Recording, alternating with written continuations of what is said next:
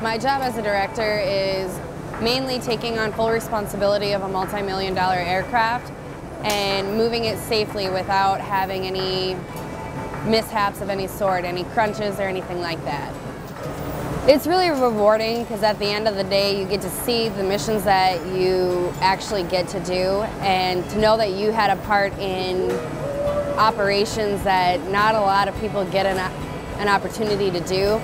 You contribute more than you even think. So it's really rewarding to see that, you know, your hard work actually pays off.